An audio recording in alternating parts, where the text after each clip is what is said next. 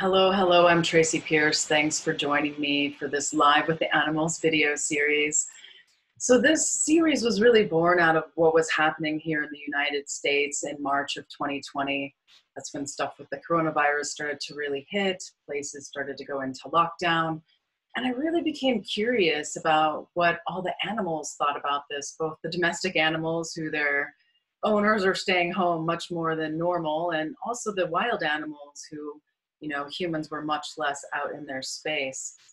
So that's how this series was born and really here we are in august now and my animal friends have continued to encourage me to keep chatting with them to keep hosting these video series. So um, any of you who have questions for them a lot of them just have wisdom they want to share.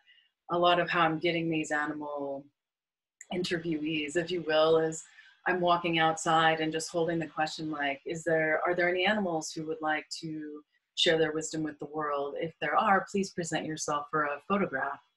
And there's just been a lot of animals come forward. So looks like we have some people joining us on Zoom and on Facebook. And if you'd like to get in on this conversation with the spider, how to do that is if you're on Zoom, there should be a on the bottom of your bar there, a little button that says chat. Just click on that, type in your question, or if you're joining me live on Facebook, just type your question into the comment section. All right, so our guest animal today is a spider. Now, I really, really tried to look up what kind of spider this is. I was having a hard time getting a really clear shot of it. But this is a pretty common spider you see here in Colorado indoors. Uh, I've seen them multiple places I've lived here, so they're they're pretty common. I'm fairly certain they're not poisonous, uh, but uh, yeah, I'm not 100% sure what species of spider this is. But I'm just going to go ahead and get quiet and start tuning into the spider and see what it might like to share with us today.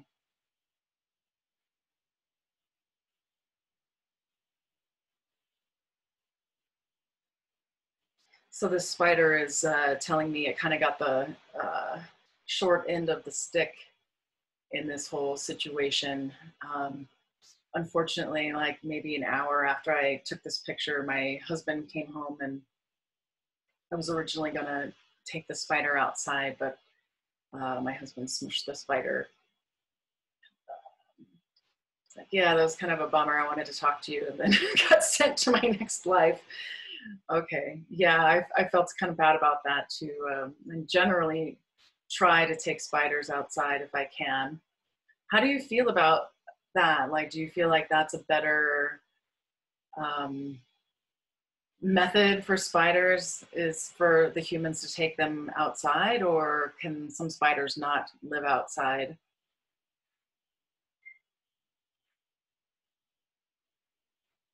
Yeah, so this spider is telling me, well, some some spiders do live outside. His particular breed is saying it doesn't live outside as well. So as soon as it gets outside, it does try to find an inside place to um, nest and, you know, have its babies or grow up or catch insects, etc. It does prefer to be inside. It's like, well, but maybe next time it would go into the neighbor's house instead of instead of ours. Um, okay, yeah, you might still get smushed that way, but so I felt like there was something, you know, maybe more than one somethings that you really wanted to share some spider wisdom with us today. Um, what would you like for us to know about you or spiders in general, or just what would you like to share with us today?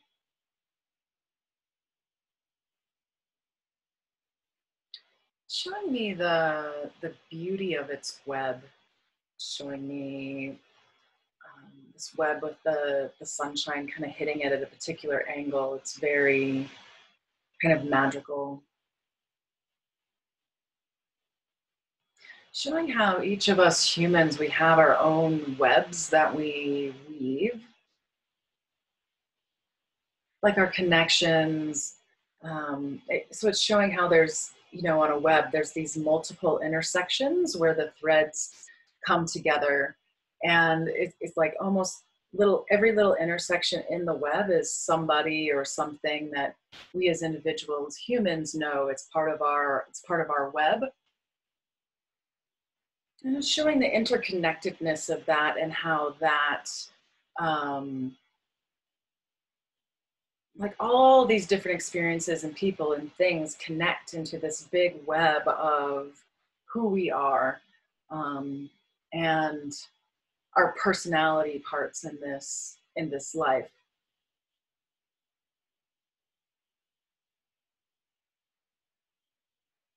Yeah so it's show it's showing like um, whatever our our hangups, if you will. You know, some traditions might call this samskaras or blocks or karma that we came into this life with, showing how it's almost like each individual has a particular vibration that it's attracting certain things to it. And because the web is sticky, it like it it it holds those things. We really attract in um, a lot of what we came in with in, in this life, whatever our karma or um, burdens from past life, if, lives, if you will, that we bring with us. Okay, does it does it seem like it might be possible to um, change that, or you know, like I think of people who, and I certainly have been in this position myself, at points where I'm just attracting like all the wrong stuff. And, you know, I can tell that it is part of my karma or things I'm bringing into this life. Like, do you have any advice for those of us who are maybe attracting the wrong things, how to change that? It can be a quite slow process. Uh, the spider is showing there's this certain level of unraveling like the web that our individual webs that we have can be very sticky. Um, the spider is saying though like different individuals have different levels of stickiness to their web. Um, so one thing you could think about is how can i reduce the stickiness of my web? Okay do you have any maybe practical advice for how we could reduce the the stickiness? Like i have ideas in my head but i wonder what what you think that might be.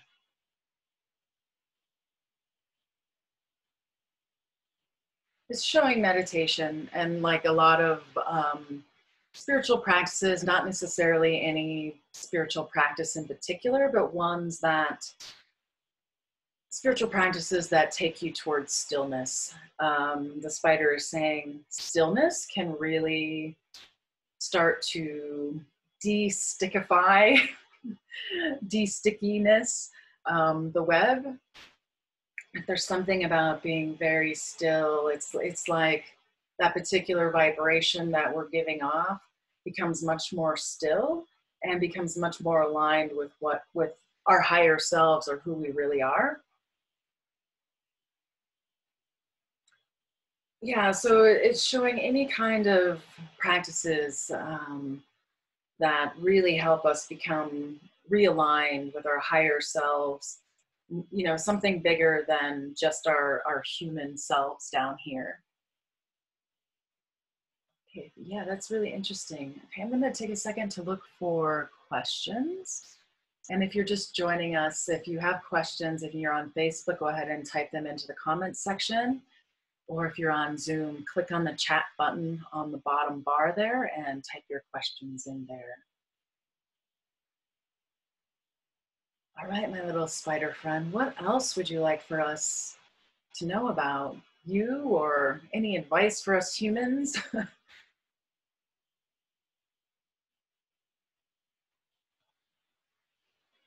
spider is showing how there's, um, with its particular breed, or species, it's um, it has some oh gosh, what's the right word? Co-evolution with humans. It's showing it's showing so you know in sort of the same way that maybe domestic dogs or domestic cats have this evolution with humans, the spider is showing its particular breed has a similar kind of thing. Like, obviously, we're not pets, we're not domestic, but there is something about the way that you build your houses and your homes showing how um, it's kind of showing me this human timeline of you know so back in the day you guys lived in straw huts or mud huts or caves or or whatnot. And there's sort of been this evolution of the spider as um, our own domiciles have changed. Have, have you always been particularly fond of humans and their shelter structures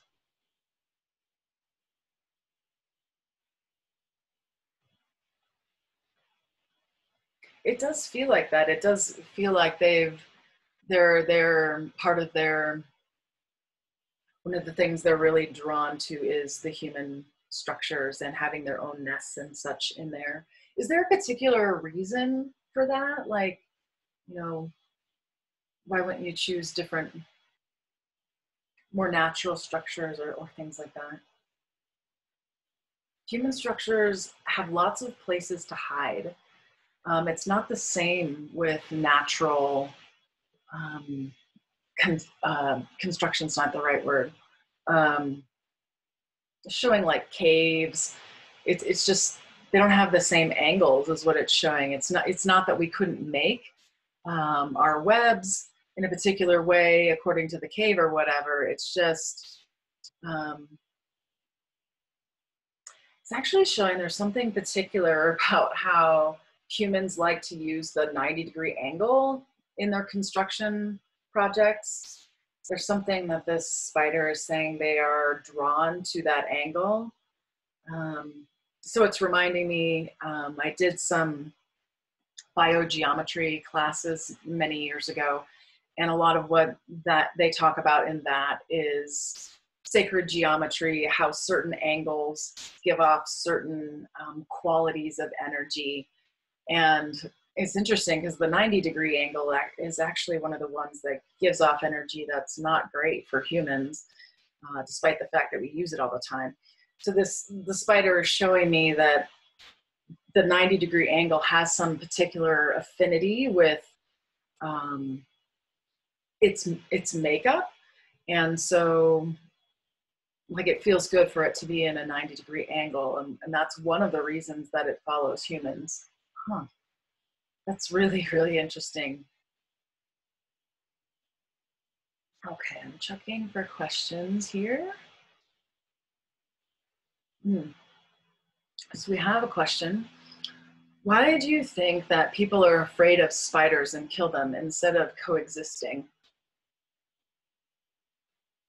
Well, many of us are poisonous.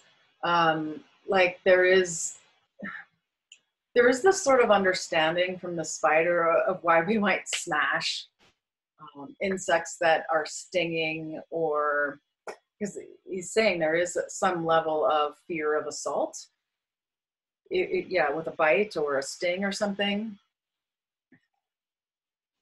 So it isn't yeah it is the normal reaction like if something attacks you to um, smash it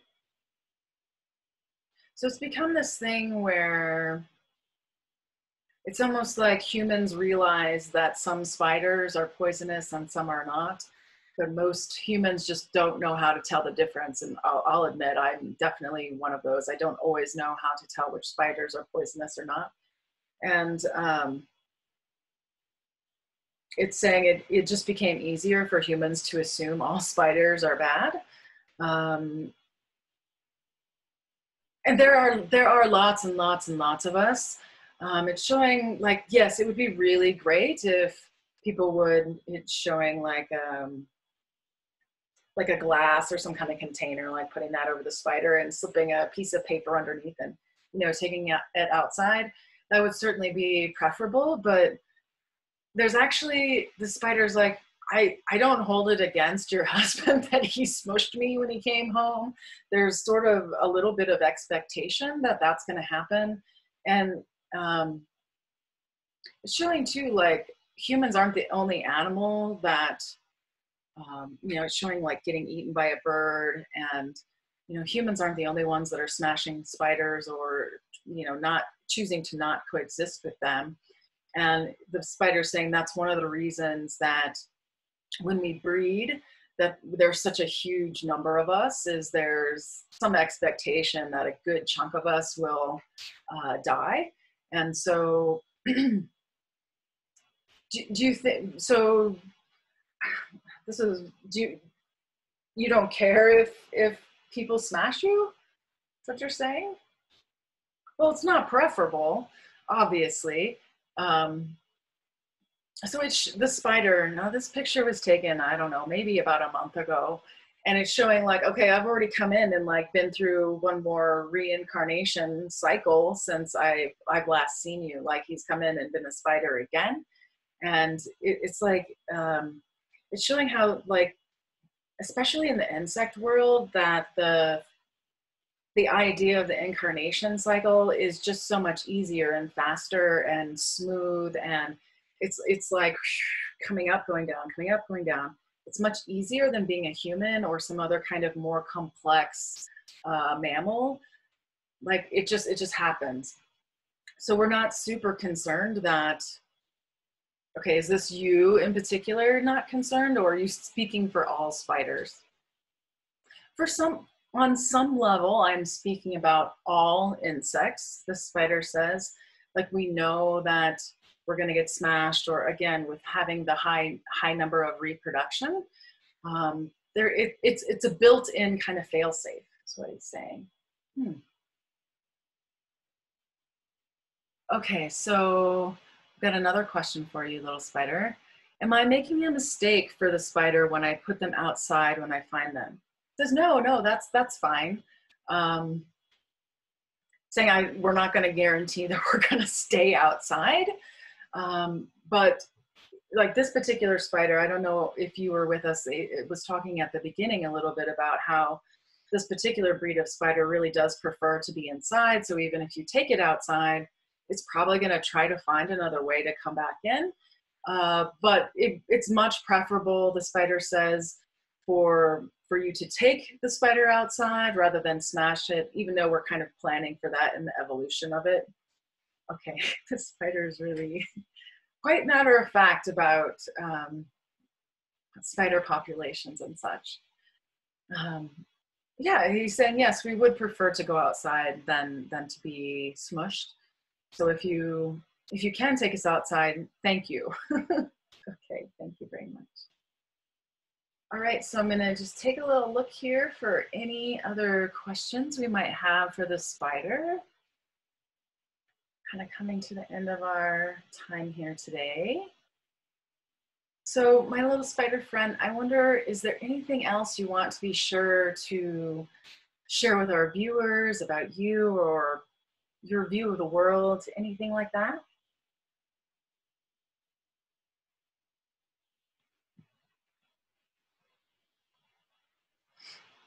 So it's showing me that concept of the web again that we he was showing at the beginning, where each of us individually we have our own webs. We're attracting things in. Some things that are a little more sticky. Um, so the spider is really encouraging us to have some awareness of what kind of webs we're weaving, and it's like bringing conscious awareness to what you're attracting into your life he's like, this is much more than like law of attraction or more woo woo, new agey kind of stuff. This really is like, um, if you have any kind of like a conscious awareness or you've done meditation or something, this might be something you're able to feel like just closing your eyes and, and kind of taking a look at what those things are in your life, or maybe you don't need to close your eyes. He's showing like maybe you need to draw out your web on a piece of paper and like look at how all these things are connected. But it's really encouraging us to look at the power of our own webs that we're weaving and what we're bringing into our lives and how we can and it's reminding that it said like finding ways to bring stillness into our lives can help reduce the stickiness of our webs and um, allowing things that maybe are really ready to be let go like the stickiness can just drop and it'll fall away Mm. Thank you so much, Spider Friend. It's been so wonderful to chat with you today. Let's see. So thank you. Thank you to all of our viewers who joined us here today. These sessions are always so much fun for me to facilitate. Our animal friends have such fascinating stuff to share with us. And I think I've got at least six weeks more of this already lined up. The animals just keep showing up, which I'm, I'm just so excited to, to continue to chat with them and make these videos for you. So I hope you'll join us again sometime. And until next time, take care and be well.